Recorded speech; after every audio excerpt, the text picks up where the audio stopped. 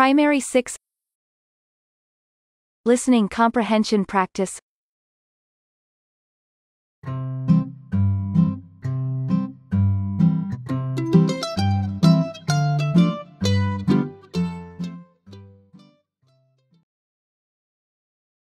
Listening Comprehension Practice for Primary 6 Instructions to Teachers. Before you begin this practice listening exercise, please check that the volume of the speaker is audible to all your students. Adjust the volume of the speaker to ensure that all your students are comfortable with the level of volume. Instructions to students. In this practice listening exercise, you'll hear seven passages in total. You will hear each passage twice.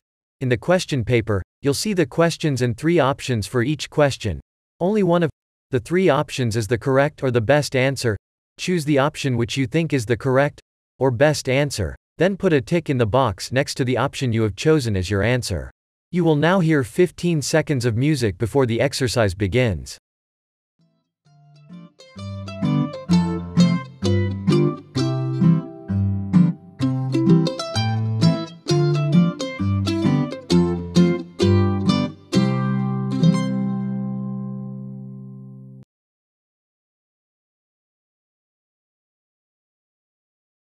Listen to passage 1, then answer questions 1 and 2. Miss Tan, I need to speak with you for a moment. Are you in a hurry? No, I'm not in a hurry. We can certainly talk. Thank you. It's about the school outing next week. My students are so excited and they want to have some information quickly to inform their parents. Oh, the outing. I am in fact going to prepare an information sheet with all the details. But if your students must have the information earlier, we can give it to them. What would they like to know, Mr. Raja? First, they want to know if they have to pay, and if yes, how much?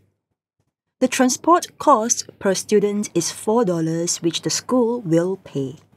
The entrance ticket for each student is $1 which we will collect from the students. The packet meal for each student will cost $2, but each student will only pay $1. So, the total cost for each student is $7.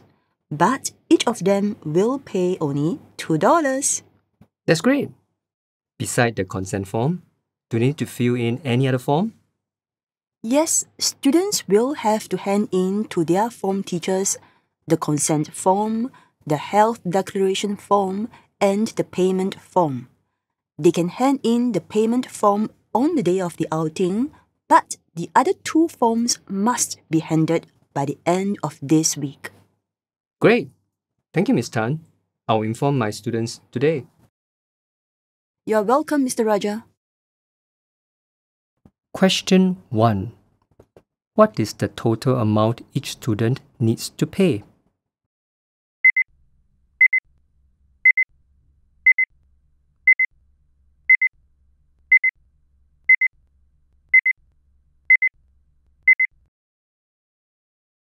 Question 2. Which of these forms can be handed in last?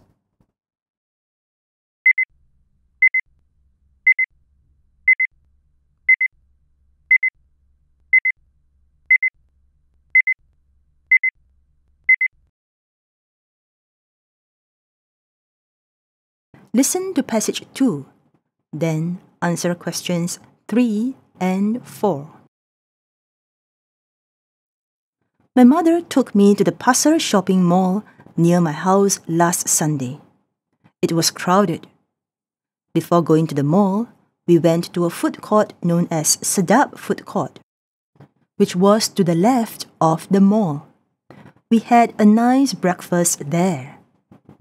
On the left of the food court was a restaurant known as Coffee and Tea Mart, where they sell only local food such as prata, nasi lemak, and fried kway teow with coffee or tea, of course. I had roti john with Milo, and my mother had fried carrot cake with coffee. After breakfast, we went into the supermarket in the mall to shop for groceries. On the way out, we stopped by Coffee and Tea Mart to buy nasi lemak for my father and fried kway teow for my brother. Question 3. Which picture shows the three buildings as described in the recording?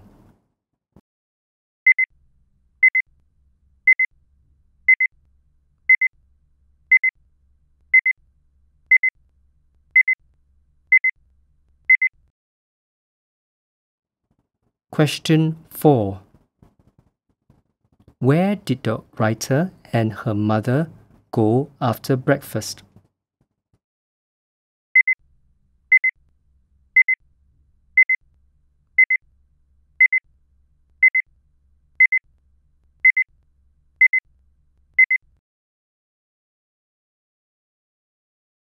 Listen to passage 3, then answer questions 5 and 6. One evening, Selina and her two brothers were at a playground near their house. Selina went straight to the swing and started playing on the swing. Andy, her elder brother, was on the stationary bicycle exercising. Her younger brother, John, was playing on the slide. After about 20 minutes, Selina was seen on a seesaw with John. Andy was still on the bicycle. In another 30 minutes, John was enjoying himself on the swing, while Selina was near the bicycle watching Andy. Andy got off the bicycle and helped Selina get on to it. After about five minutes, Selina got tired of the bicycle and got down and went back to her favorite swing. All this while, John had left the seesaw and was at the merry-go-round. Andy looked at his watch. It was six o'clock. He told his brother and sister that it was time to go home, and they left for home only after playing on the merry-go-round for about five minutes. Question 5. Selina's first stop was at location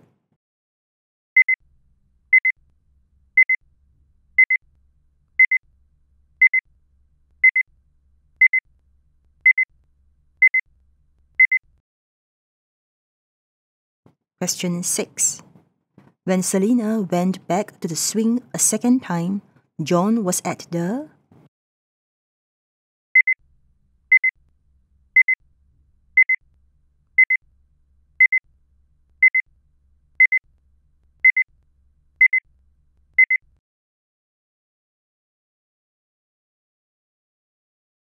Listen to passage 4.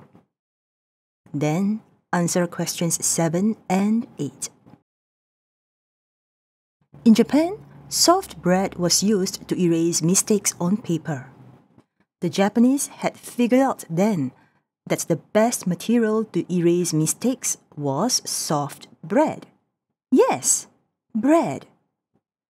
Students there have been known to like this solution since they could always tear a part of the bread they had with them for their meals to erase their mistakes. An engineer in England, Edward Nairne, used breadcrumbs as eraser too. But one day in 1770, he unknowingly picked up a piece of rubber instead of bread. And the rubber erased everything away. Edward was amazed at his discovery.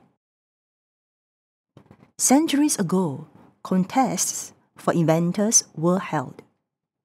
Edward Nairne entered the eraser making contest. He designed his rubber eraser in such a way that those using it can hold it easily to erase pencil markings on paper and entered the contest. The rubber eraser became a great success. Its use spread widely. Edward's rubber eraser had its flaws, and there were quite a few of them. The eraser, when used, tended to crumble and would not last long. It was sensitive to weather conditions as well. In hot weather, the rubber eraser would melt and the smell it gave off was bad. In 1839, a man named Charles Goodyear solved this problem. He made the rubber more durable with a method called vulcanization. With that improvement, the rubber became a popular household item. Question 7. Based on the recording, which of the following is correct?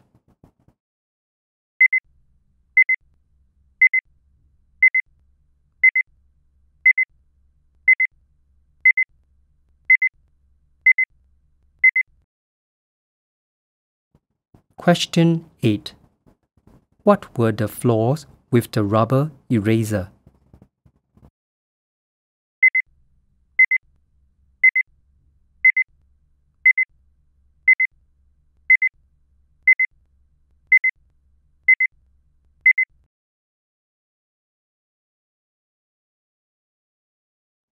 Listen to passage 5, then answer questions 9, 10, 11, and 12. Good morning, Mr. Shah. Thank you for coming to our school. I am Miss Amy, your son's form teacher. Nice to meet you, Miss Amy. I find Daniel to be a well behaved student. He is hardworking and hands in his work on time. He has even been commended for good deeds by the principal and the discipline master. Thank you, Miss Amy. Daniel is a good boy and is helpful in the cause. He is quite independent. He irons his own uniforms and washes and dries his own shoes. I see, that is good. He is also active in sports. He seems to like many outdoor games. He is a very skillful football player and I have seen him play basketball and badminton as well. He told me his dream is to represent his country in athletics. I encouraged that, but I told him that he has to do well in his studies too. Yes, he does show a lot of interest in sports and wants to do well in his studies. He will have his dinner only after finishing all his homework, so he's always eating late at night. It's good to have his homework done, but he must eat when he is hungry. I will speak to him about that. Thank you, Miss Amy. I'm sure he will listen to you. One more important thing Daniel is a little weak in English grammar. He has to know the grammar rules. He needs to widen his vocabulary as well. Please see that he reads books regularly. I have told all my students to read at least one book per month. That will help enhance their knowledge of grammar and widen their vocabulary. Sure, Miss Amy. He does revise his work. I will see to it that he reads every day. That's good, Mr. Shah. This is my mobile number. Please do call me when you need to speak to me about Daniel. Thank you, Miss Amy. Thank you, Mr. Shah. We will meet again soon. Question 9. The dialogue you have heard was between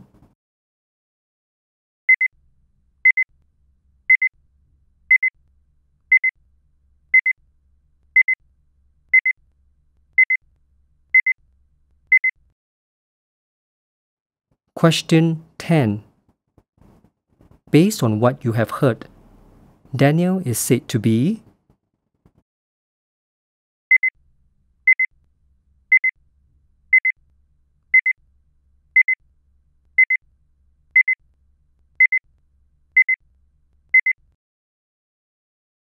Question 11. What is Daniel's ambition?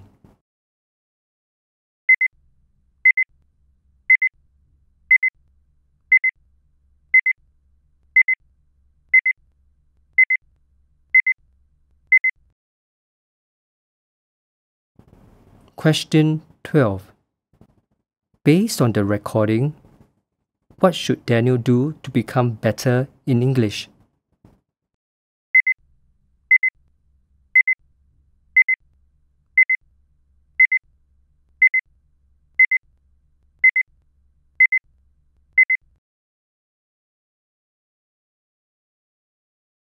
Listen to passage 6, then answer questions 13 14, 15, and 16. Good morning, teacher and friends. I will now read out a story.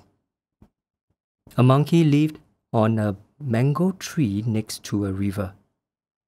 A crocodile came to rest under it, having swum a long distance. Seeing the crocodile tired and hungry, the kind monkey offered it mangoes. The crocodile thanked the monkey and ate the sweet mangoes. The next day, the monkey saw the crocodile again and happily shared the mangoes. After several days, the crocodile thought, If the mangoes are so sweet, I wonder how sweet the monkey's heart would be, given that he eats these mangoes every day. He thought of a wicked plan to trick the monkey to bring him to the middle of the river where he cannot escape and kill him for his heart. The crocodile came to the tree, saw the monkey, and greeted him. Hello, my friend. I love your sweet mangoes. Would you please accept my invitation for dinner in my house? The unsuspecting monkey readily agrees. The monkey hops on to the crocodile's back, which swam towards his house. In the middle of the river, the crocodile suddenly blurted out the real reason for the invitation. The monkey was shocked but did not panic. He thought quickly and said, Oh, why didn't you say so earlier? I am more than happy to give my heart to you, but I usually keep it hidden safely at the mango tree. We will have to go back and get it if you want to have my heart. The foolish crocodile said, Oh, fine. Let's go back and get it then. As soon as they reached the river bank, the monkey jumped onto the tree and climbed to the tallest branch away from the crocodile's grasp. How can I keep my heart outside my body? Go back, you foolish crocodile, and do not come back here ever. You are the worst friend I have ever had, said the monkey. Disappointed and embarrassed at how foolish he was, the crocodile swam back home, never to be seen again. Question 13. Why was the monkey kind?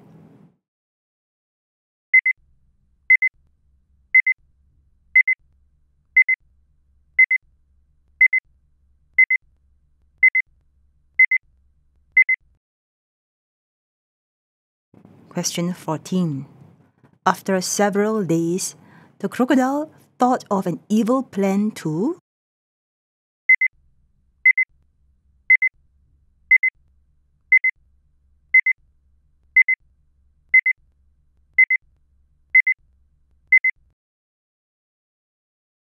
Question 15. The word that tells us the monkey trusted the crocodile is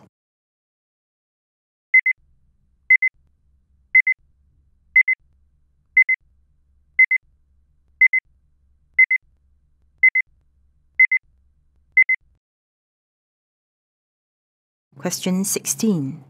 Which one of the following titles is the most appropriate for this story?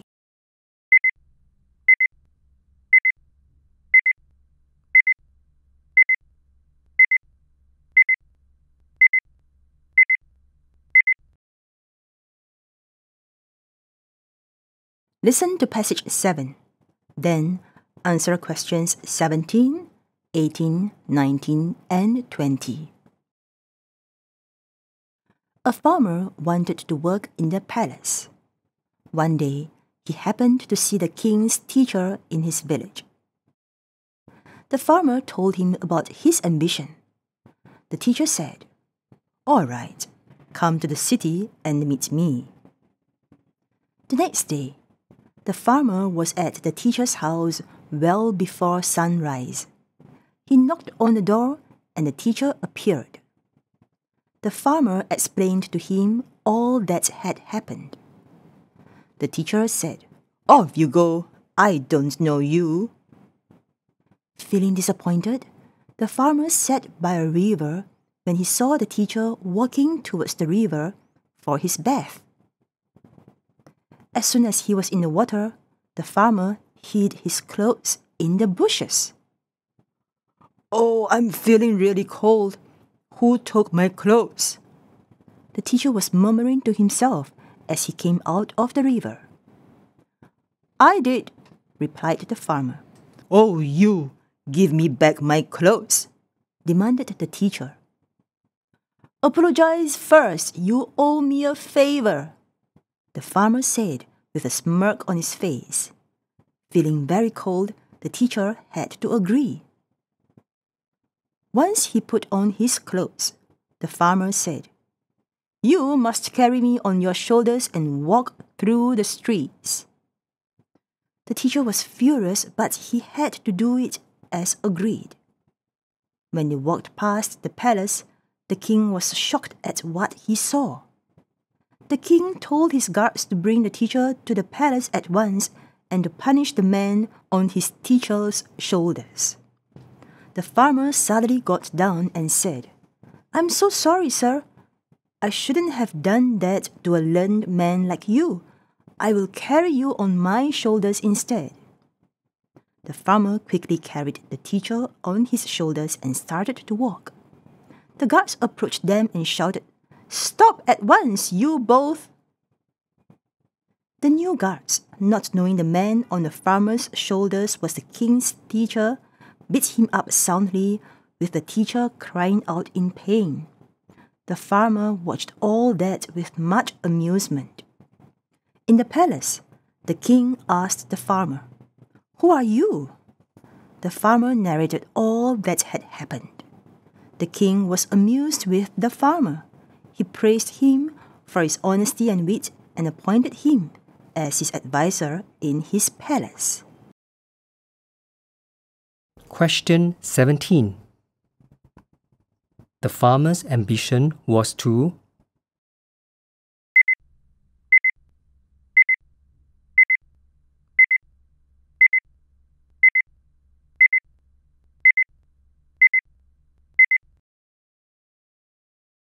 Question 18.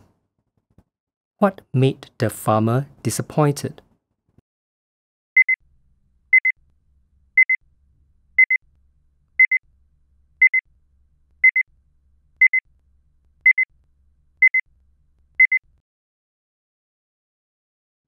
Question 19.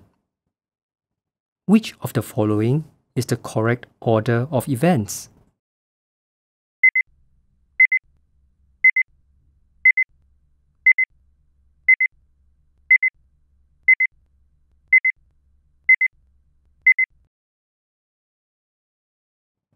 Question 20. Which of the following is correct?